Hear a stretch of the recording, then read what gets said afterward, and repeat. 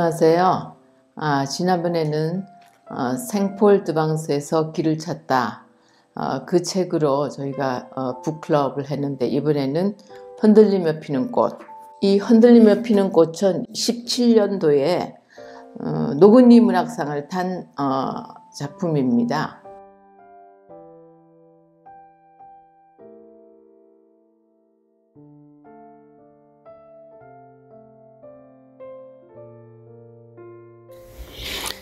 이 책을 왜 쓰게 되었나 하는 음, 동기에 대해서 잠깐 말씀드리겠습니다.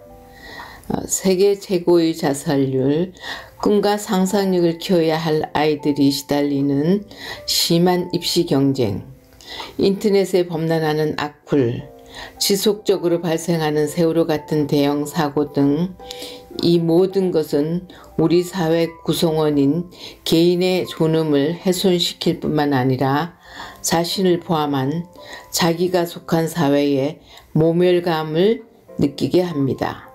빠른 경제적 성장으로 인한 후유증, 후기 산업사회에서 필연적으로 나타나는 과도한 경쟁에서 오는 좌절감과 불안은 개인의 자존감을 잃게 합니다. 자존감이 낮은 개인이 다수인 집단일수록 불만과 불안이 쌓이게 됩니다. 이번 장편 흔들리며 피는 꽃은 우연히 알게 된 강명 87호 전재용 선장의 이야기를 유튜브로 봤을 때의 감동을 소설화한 것입니다. 30년 전 전재용 선장은 난민 구출에 간여치 말라는 선박회사의 명령까지 물리치고 베트남 난민 96명을 구출하여 무사히 부산 난민촌에 안착시켰습니다. 그것은 자신의 미래, 가족의 안녕까지도 위협하는 결단이었습니다. 전재용 선장은 귀국 후 직업을 잃었습니다. 이 작품은 그의 가족들이 겪었을 후일담을 상상력으로 복원한 것입니다. 전재용 같은 의인이 우리 사회에도 존재한다는 것은 나에게 큰 감동을 주었고 그것을 작품화하고 싶었습니다. 전재용 선장이 난민을 구한 사건까지는 실하지만 나머지는 모두 허구적 상상력에 의해 구성된 것입니다. 몇십 년간 소설을 연구하고 소설을 써오면서 소설에 대한 나름대로의 소망을 가지고 있었습니다. 그것은 우리 사회에 나타나는 현상에서 정치가를 비롯한 우리 사회를 이끌어가고 있는 집단이 한 개인의 존엄을 너무 가볍게 여긴다는 불만에서 비롯된 소망입니다. 자본주의 사회에서 경제적 성장만큼 중요한 것은 한 개인의 존엄입니다. 사회복지는 개인의 존엄을 위해 필요한 것입니다. 사회 구성원 한 사람 한 사람의 자존감이 높을 때 그가 속한 단체와 사회는 활기차고 타인에 대한 별애로 아름다운 사회가 됩니다. 소설은 예술이기 때문에 심미적 목적을 가지고 있습니다. 심미적 목적을 드러나는 감동이 인간에 대한 감동으로 이어지고 나아가 우리 사회의 한편의 소설로 훈훈한 입금을 불어넣는 미시적 파동이 일어나기를 어, 소망합니다. 제목 이 흔들리며 피는 꽃이라 그랬는데 이 그 지영이라는 인물의 그 흔들리는 정체성과 그리고 그 흔들리며 피는 피는 꽃 이거는 어 원래 도정환의 시입니다.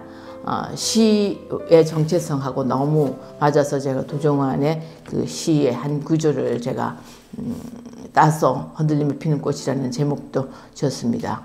그 부분을 읽어가면서 어, 여러분들에게 전달해 드리겠습니다. 음, 어젯밤 미니 엄마가 형은이 집 배를 누른 것은 9시가 조금 지난 시각이었다. 마침 뉴스에서는 박근혜 대통령이 독일을 방문, 드레스덴 선언이라는 통일 연설을 했다는 뉴스가 막 끝나고 과거 강부나 간호사, 간호사로 갔던 독일 교민들과 만찬을 가지는 어, 장면이 영상으로 흘러나오던 시각이었다. 그들의 종잣돈으로 우리의 경제 부흥이 이루어졌다는 박근혜 대통령의 멘트가 막 끝나는 것과 동시에 벨 소리가 났다. 화면에 미니 엄마가 잡혔다. 미니 엄마가 바로 그 지영이 그 전재용 선장의 딸입니다. 음, 얼른 현관으로 나가 문을 열었다. 미니 엄마는 얼굴도 들지 않고 뭐라고 말을 하는데 하도 낮은 소리라 들리지 않았다. 미니 엄마 왜 그래? 형은이 미니 엄마의 손을 끌고 거실로 안냈다. 형은이, 형은이 냉장고에 가서 물을 컵에 따로 미니 엄마에게 건네주었다. 텔레비전을 켰다. 미니 엄마는 거실에 앉아서도 한참을 넋없이 앉아 있었다. 그러면서 죄송하다는 말만 반복했다. 미니 엄마는 현재 법원에 근무하는 판사인데 아, 판결문 보따리를 들고 지친 얼굴로 엘리베이터 앞에 서 있는 그녀를 가끔 만난다. 남편 역시 사법고시를 한 검사였다. 두 사람은 잠자는 얼굴이나 볼 수 있을까? 서로 뭐, 너무 바쁘다. 미니 아빠는 거의 12시가 넘어 퇴근한다. 가끔 잠을 못 이뤄 거실을 왔다 갔다 하면 그때야 엘리베이터에서 내리는 벨 소리가 들린다. 미니 엄마는 퇴근 후 미니 숙제를 도와주는 미니가 잠이 들어서야 겨우 다음날 판결할 사건이 사건 기록을 읽고 한두 시간 자는 둥 마는 둥 하고 다시 출근을 한단다. 미니 엄마를 볼 때마다 형어는 삶의 무게를 혼자 지고 있는 듯한 지친 모습에 안쓰럽게 바라만 보았다. 미니 엄마 바로 그 음, 미니 엄마라고 하는 지영이네 집 바로 맞은편 쪽에 사는 어, 형은이라고 하는 교수 교수가 있는데 그 교수는 바로 그 음, 지영이네 집 그 미니네 집 바로 앞집에 있으면서 어, 미니네 엄마와 굉장히 가깝게 지나는 이웃입니다. 그 제일 첫 장면이 예, 그렇습니다. 그 다음에 두 번째 장면으로 제가 소개하겠습니다.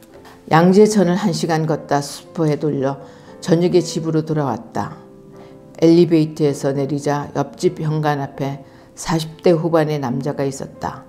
날씬하고 키가 큰 골프 모자 를 푹 눌러쓴 남자는 주주한 듯 담배를 피우며 계단을 오르락 내리락 하며 서성거렸다. 술을 먹었는지 모자 아래의 목이 댄듯 벌겋다. 형은 얼른 현관문을 열고 들어왔다. 현관문을 여는 동안에도 자신의 어깨를 끌어당길 것 같은 불안함에 소스라치듯 안으로 들어왔다. 그리고 인터폰으로 경비실에 연락했다. 경비실에서는 판사님 동생이라고 한다. 가끔 그 집을 드나든다고 했다. 그런데 그동안 형은 어떻게 한 번도 만난 적이 없는지 의아했다.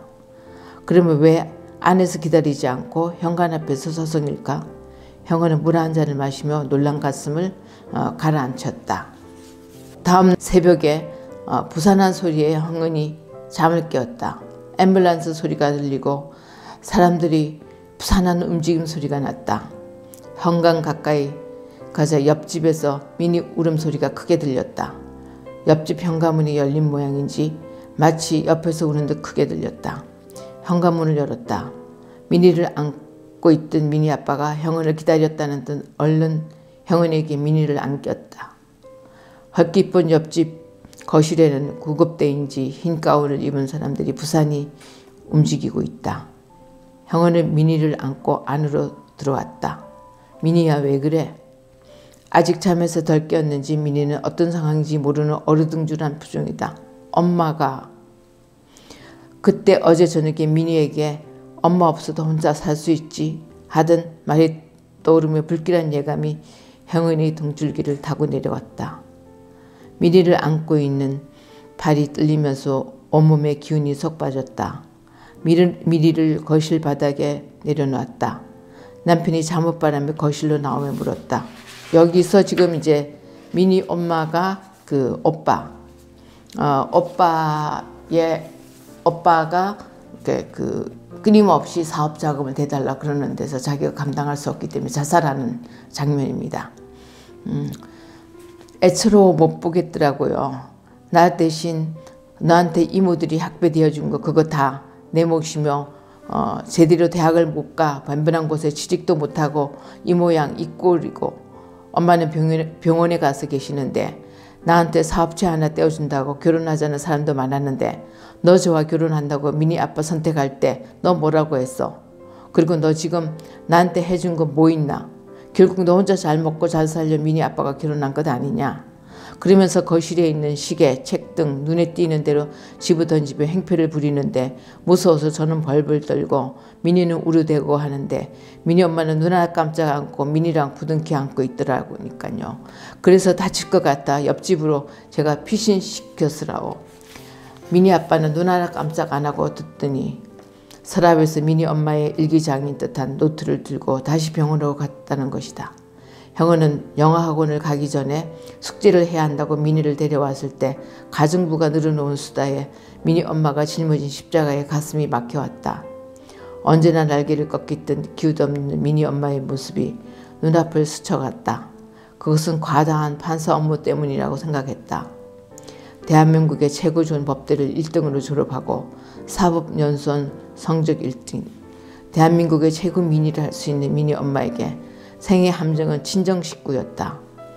빨리 미니 엄마가 무사히 깨어나야 할 텐데 그리고 모든 것을 극복하고 씩씩하게 살아야 할 텐데 기운 없이 책가방에서 알림장을 내는 미니를 꼭 껴안아 주었다. 순간 자신이 절규에는 도중 안에 흔들림에 피는 꽃이 어, 입에 맴돌았다. 이 시에 나오는 주제이면서 이 주제하고 비슷하니까 시를 잠깐 읽겠습니다. 흔들리지 않고 피는 꽃이 어디 있으랴. 이 세상 그 어떤 아름다운 꽃들도 다 흔들리면서 피었나니 흔들리면서 줄기를 곱게 세웠나니 흔들리지 않고 가는 사랑이 어디 있으랴. 젖지 않고 피는 꽃이 어디 있으랴. 이 세상 어디 어떤 빛나는 꽃들도 다 젖어, 젖으며 피었나니 바람과 비에 젖으며 꽃잎 따뜻하게 피었나니 젖지 않고 가는 삶이 어디 있으라. 배가 지금 음, 이 흔들림에 피는 꽃이 꼭 이런 어, 스토리를 어, 담고 있습니다. 그러니까 지영이 이제 그 음, 병원에 입원했던 장면의 한 중입니다. 지영은 구름과 구름 속을 떠다녔다. 구름은 마치 안개처럼 사라졌다. 다시 돌아오곤 했다. 순간 통곡하는 소리가 귀를 때렸다. 그리고 어딘가 추락하는 느낌과 함께 눈을 떴다. 제일 먼저 하얀 벽이 눈에 들어왔다. 차츰 방바닥, 방 바깥 주위의 부산스러운 움직임 소리가 귀에 들어왔다. 얘의 그 통곡 소리가 다시 들려왔다. 지영은 몸을 일으켰다. 링거 꽂은 수사기의 바늘이 통증과 함께 발목에서 빠져나갔다. 지영은 얼른 손으로 침대 아래로 떨어지려는 바늘을 잡았다. 방 질, 어, 주위를 둘러봤다. 1인용 병실이었다. 잠시 자신이 왜 병원에 와 있는지 기억이 나지 않는다. 그러나 순간 가슴이 쿵 하며 온몸이 떨리기 시작한다. 그래, 자신은 세상을, 어, 딸 미니를, 남편을 버려뒀다. 그들과 함께 행복을 누릴 자신이 없었다. 아니, 어, 그들을 암흑의 동굴로 안내하고 싶지 않았다. 남편과 미니를 어떻게 다시, 그리고 미치도록 미니가 보고 싶다. 며칠이나 병원에 있었을까 갑자기 불안해졌다. 40여 년 이를 악물고 버텨온 자신을 더 이상 버텨낼 자신이 없었다. 가슴이 터질 것 같아 옆집 교수에게 방법을 찾을까 하고 그대북을 방문했었다. 언니처럼 의지하던 옆집 교수를 보자 자신이 살아왔던 서러움이 한꺼번에 몰려오며 눈물이 쏟아졌다. 다행히 옆집 교수는 아무것도 묻지 않았다. 자신도 아무 말을 할 수 없었다. 한 시간을 서럽게 울, 울고 나자 마음이 정리되었다. 교시가 진정 엄마처럼 포옹을 해주었다. 집으로 오자 다시 눈물이 났다. 남편 오기 전까지 정리할 것을 정리하고 그동안 불면이 음, 불면이 있을 때마다 모아두었던 수면제를 병채로 몽땅 먹었다. 그리고 엄마 침대에 자자면 미니를 불렀다. 침대 위에 올라오는 미니를 힘껏 포옹했다. 미니가 가슴에 폭 안겼다. 온몸으로 미니를 끌어안았다. 미니는 지영의 얼굴을 쳐다보았다. 지영은 눈을 감고 자는 척 기척을 하지 않았다. 미니는 포기했는지 잘 미끄러져 내려가는 발치에 있는 명주 이불을 목까지 잡아당겼다. 미니가 잠이 들 때까지 꼼짝없이 지영은 누워 있었다. 미니가 잠이 든 것을 확인하고 슬그머니 침대에서 내, 일어났다. 지영은 일어나 남편에게 편지를 썼다. 당신은 저에게 우리 세 식구만 생각하라고 하지만 저는 제가 짊어진 제 십자가가 너무 무거워서 아무것도 묻지 말아주세요. 오직 당신과 미니를 이 세상이 아닌 저 세상에서라도 영원히 사랑할게요. 이럴 수밖에 없는 제가 밉고 불쌍해요. 여보, 저를 원망하지 말고 불쌍한 영혼을 위로해 주세요. 제가 감당할 수 없는 제 십자가가 이 세상에서 더 이상 버틸 수 없게 하네요. 사랑해요. 당신의 사랑 지영. 편지를 화장대 서랍 앞에 안에 두고 다시 침대로 왔다. 편지를 쓰고 나니 순간 자신도 모르는 이상한 신음이 올라왔다. 그 소리는 목에서 나오는 소리가 아니었다.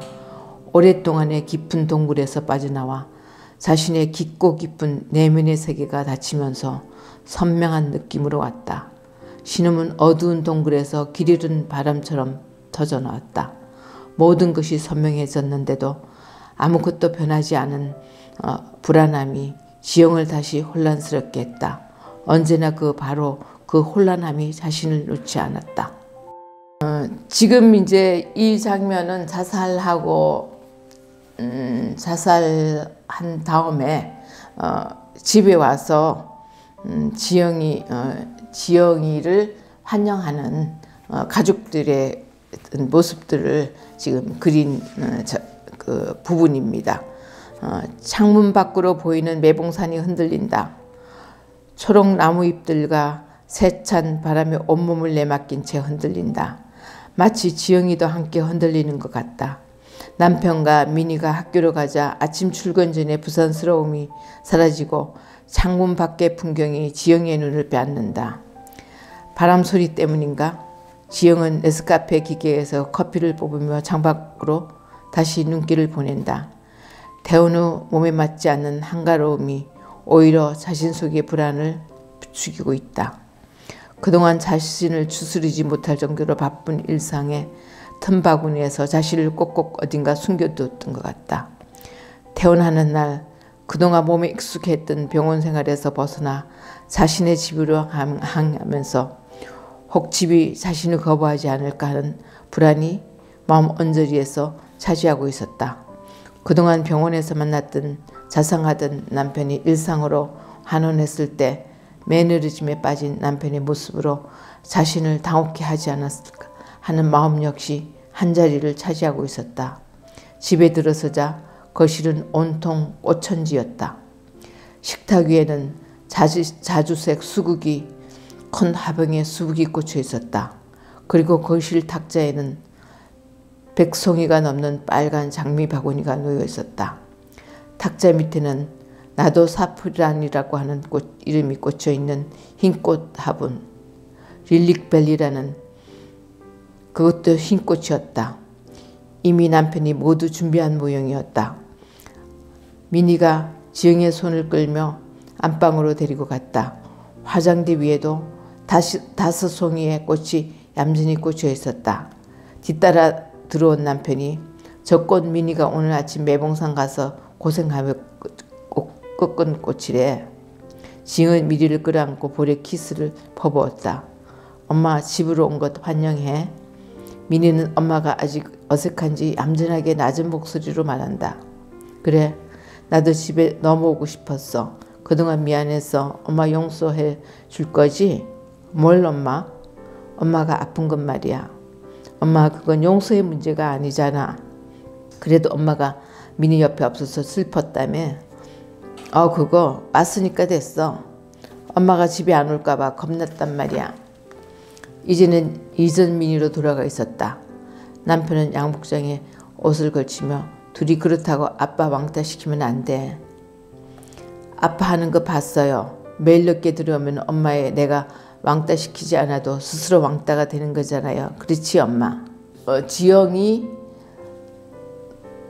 병원에 입원했을 때 깨어났을 때 부분 기억 상실이라 그래가지고 그 기억 상실 에서 어, 대부분 이제 심리학에서 얘기하는데 자기가 기억하고 싶지 않고 자기가 억압된 부분은 어, 상실될 경우가 있다고 얘기를 해요.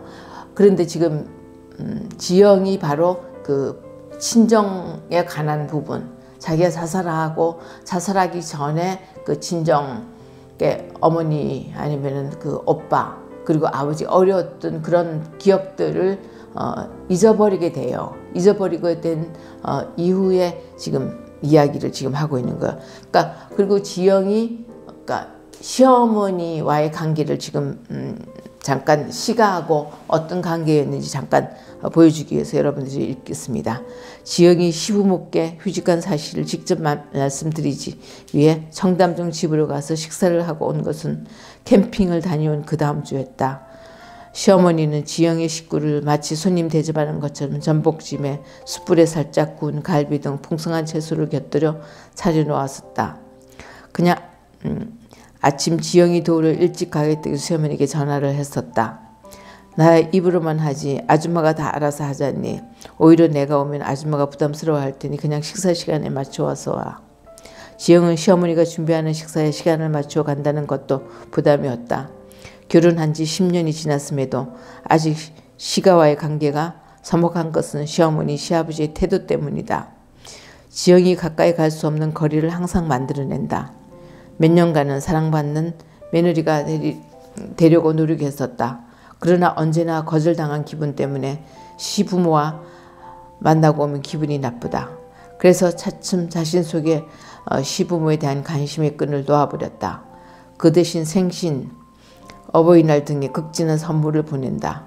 그리고 당신들이 오라고 하면 가서 기분 좋은 낯으로 지내다 온다. 평상시 시부모 소식은 남편에게 듣는다. 안부차 지영이 전화를 걸면 시아버지가 바꿔도 지영이 말이 채 끝나기 전에 시어머니를 바꾼다. 시어머니 역시 의례적인 인사치레를 하고 너 바쁜데 끊을게 하고 전화를 끊는다. 그럴 때마다 전화 건 것을 후회하게 된다. 변호사를 하며 혼자 사는 혼자 사는 친구에게 그 얘기를 했더니 야 결혼이 불편 불편하다는 게 다 그런 것 때문이잖아. 내가 하고 싶을 때만 전화해. 의무적으로 하지 말고. 너 시부모한테 꿀릴 것 없다. 재벌집 사모님이 어, 될 뻔한 며느리감을 데려왔는데 감지덕지 며느리를 모셔야지. 안 그래? 친구들에게 동의를 구했다. 너 솔직히 그 집 나온다고 내가 못 사니? 자기 아들이 매달려서 한 결혼인 줄 모르고 하여튼 부모들은 고리타분이야.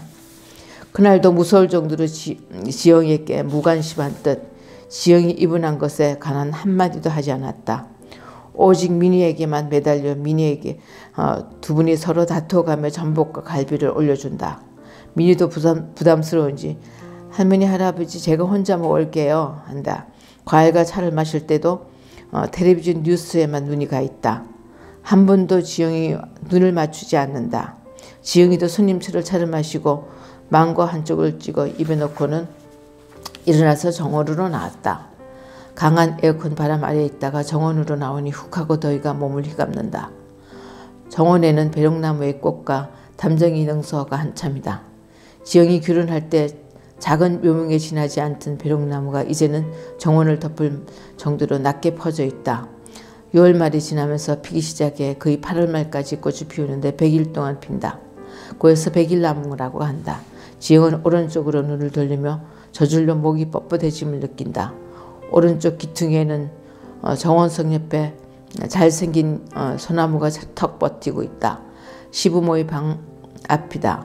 마치 그 소문, 그 소나무는 지영이 지영을 이 집의 식구로 받아들이지 않겠다는 시부모의 끈끈한 의지처럼 지영이를 거부하는 완강한 몸짓처럼 보인다. 어느새 어, 미니가 지영이의 스커트 자락을 붙잡고 있다. 여기까지 다, 다음 이제 지영이가 그 친구 어, 경주라는 친구의 집에 가는 장면에 이 이제 회식을 끝나고 전화를 받고 이제 그 경주의 집에 가게 도착하는 장면이에요. 음, 음, 그래서 그 집의 분위기와 어, 그동안에 이제 그 부분 상실되었다는 그 기억이 어, 이 지영인의 집에 아 그 친구 지영인의 친구 경주 집에 가서 그 거실에 걸려 있는 그 아버지가 난파한 배 배의 어, 사진을 보고 이제 기억을 다시 회복하는 음, 순간입니다. 어, 유럽 궁전에나 사용했을 장식이 화려한 수익 가구에 멋진 소파가 집을 압도할 정도로 화려하다. 예진이 달려나와 안녕하세요. 어, 예진이는 그 지영이 딸 미니하고 같은 학교를 다니는 어, 경주 그러니까 어, 지영이 친구 경주의 딸이에요. 인사를 하고 미니를 끌고 자기 방으로 간다. 소파 위에 멋진 선박 사진이 금박 장식의 액자 안에 들어 있었다. 배에는 강명 87호라는 글자가 새겨 있었다. 근데 그 순간 지영이 가슴이 쿵하며 내려앉았다. 자신의 꿈속에서나 반복해서 나타난 배였다. 남편과 어, 경주 남편은 서로 인사를 나누고 있었다. 아니 왜 이 배가 지영은 경주를 쳐다보았다. 이배 멋있지? 우리 아빠가 선박에서 하시잖아. 선박 열척 중 가장 멋진. 이 배는 어, 참치 원양어선인데 1년 동안의 조업을 마치고 부산항에 부산항을 향해 돌아오던 중에 SOS를 알리는 난파선을 구한 배래. 어, 그래서 우리 아빠가 엄청 자랑스러워해. 이 배로 96명의 베트남 보트 피플을 부산항까지 무사히 항해해서 구출했대. 어, 굉장히 아이러니한 게 그 배를 구출한 사람은 그 지영이 아빠 선장 어, 정재용인 전재용인데 어, 그러면서 이 선박에서 그러니까 경주의 아버지는 이 전재용을 해임한 분인데 본인의 그 딸 집에 그 음, 강명호 그 사진을 거실에 자랑스럽게 걸었다는 게 굉장히 아이러니한 음, 풍경이죠. 그래서 이제 그 지영이 음, 그 차츰차츰 이제 어, 집에 와서 인터넷으로 이제 그 뒤져서 그게 뭔지를 이제 보는 장면이에요. 어, 지영은 인터넷을 뒤지면서 그동안 자신의 기억의 저장고 속에 있는 토막토막난 10살이 되던 해의 기억이 되살아났다. 그 당시 지영이네는 해저 터널의 입구가 있는 당동의 적산가옥에 살고 있었다. 여기 통영이에요. 배가 들어왔다는 소문은 돌았지만 아직 아버지는 돌아오지 않고 있었다. 부엌이 있는 1층으로 아버지와 함께 배를 타고 간 선원들의 부인들이 음, 몰려왔다. 지영이 사람들이 소리를 듣고 2층에서 아래층으로 내려가는 계단으로 발을 딛자 난민이 어쩌고 해지 구속 등 토막난 지영이 알지 못하는 단어만 들릴 뿐 무슨 소리인지 알 수 없었다. 그리고 어떤 부인은 엄마를 붙들고 울기까지 했다. 그러자 어머니의 통곡으로 이어진 울음으로 자기네 가족에게 좋지 않은 일이 일어났다는 것을 직감했다. 그 시각 이후 지영이네 가족은 모든 것이 정지되었다. 며칠간 돌아오지 않듯 아버지는 돌아와서는 집에 있지 않고 매일 밖으로 나갔다. 엄마는 그날 이후 안방에서 나오지 않았다. 오빠는 그 당시 영화관 돌아다니느라고 집에는 붙어 있지 않았다. 하루가 가고 이틀, 사흘, 시간이 갈수록 지영이네 집에는 정적만이 흘렸다. 지영이도 엄마의 간간히 들려오는 흐느낌 소리에 배고프다는 말도 못하고 냉장고에 있던 빠, 어, 식빵을 들고 와 허기가 질 때마다 뜯어먹었다. 엄마의 손이 가지 않은 집은 조용한 정적 속에서도 폐허처럼 변해갔다. 아버지가 온다고 대청소해 정리정돈이 잘 된 깔끔했던 가구에는 먼지가 쌓여, 쌓이기 시작했고 아무렇게나 던져둔 신문들, 벗어놓은 옷가지들, 세탁기를 벗어나 있던 수건들, 여기저기 제못들이 흩어져, 흩어져 집은 아수라장으로 변해가고 있었다. 집 안은 어머니가 통곡하는 날이 잦아지고 바깥 외출마저 끊어버린 아버지가 피우는 줄담배의 담배 연기만이 자욱했다.